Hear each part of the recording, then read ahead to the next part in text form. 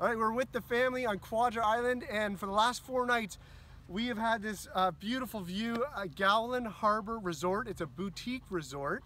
And if you turn this way, Greta, you'll see our little house right up here. We had a front yard, and it's called Sea View, and very appropriately named because of the view that we've been getting right from the house. It's a two bedroom house and uh, two and a half bath. And I'm gonna ask the kids, what sort of things you guys have been enjoying about this resort. So go for it. Kaya, what's something you've enjoyed? Um, I really like the hot tub.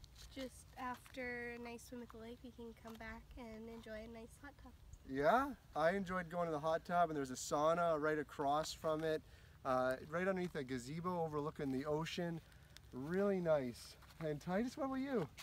Uh, finding shells. Finding shells. You get to trade them in the hotel lobby. In the hotel lobby, yeah. Got to trade them in and uh, pick some of your favorite ones. How about you, Cohen? Uh, the breakfast.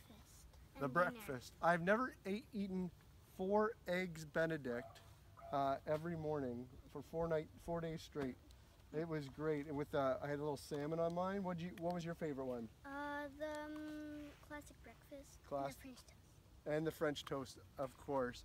And that came uh, part of the package here, staying at Gowlland Harbour Resort. Uh, it was really nice. We've never done something like this before, where we really like. It was like um, the the amenities of a hotel, yet we were in a house, and so it was like there was a kitchen and a master bedroom and a living room and a big huge deck for Mango to hang on, out on. We had a barbecue out there and uh, it, it is a great spot, uh, like a base camp place to stay uh, while, at, Ga- uh, while on uh, Quadra Island. And um, you can just go from all the different spots, from to the lakes to Rebecca Spit to um, Surge Narrows, and just just exploring. And then when you come back in the evening, you got a spot to either eat at the restaurant or uh, cook your own food. Uh, I loved coming out here on this spot right here in the evenings when you guys, you guys don't know this, but you'd go to bed and I'd come out here with Mango, uh, our, our golden retriever, and we would just sit right here on this rock and we'd overlook the ocean and listen to the seals splash around in the water.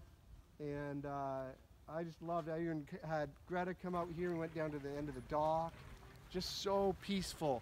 Quadra Island is perfect if you just want to slow down, enjoy nature, uh, enjoy family, and just relax. Uh, and this just provides that privacy for your family to do that. Oh, I don't want to go. How do you? I don't really want to go. We have to go catch the ferry. You guys want to stay? Yeah. Yeah, you sad about going? Yeah. Yeah, I know. You don't. How much? How many more days would you want to stay? Just one more. Just one more? About uh, About four. Four more? Yeah, I, I could do for four more. Or a week.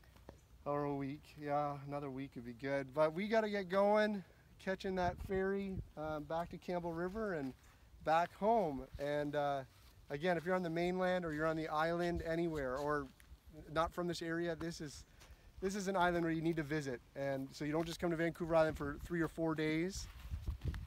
You got to come to these Discovery Islands as well, the Gulf Islands, and just take it all in.